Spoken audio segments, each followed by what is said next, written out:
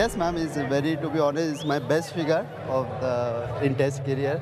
So I thought is uh, similar to bowl in consistent areas to hit uh, similar. Don't think too much. Be consistent when hit the areas and we give you success. To be honest, uh, जो last match में मेरा missing था कि consistent एक जगह वो नहीं डाल पाए इसीलिए हम लोग लास्ट मैच में इतने रन्स खाए तो यही मेरे लिए लर्निंग था कि फिर सेकेंड इनिंग में वो चीज़ मैं अप्लाई किया तो मुझे सक्सेस मिला है So he said he got the learning from last innings in the last game that you know he was not able to hit consistent lengths. He wanted to work on his consistency. He took that as a feedback and wanted to use it over here to be consistent and be relentless in his length. So that gave him a lot of rewards.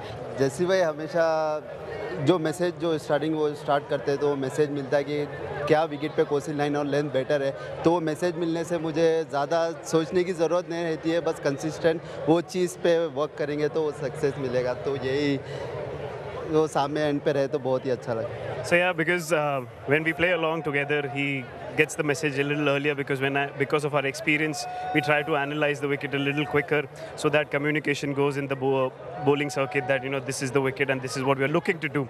So that helps him sometimes. To be honest, nothing to, बस thank you so much. Keep supported, keep loving. That's it.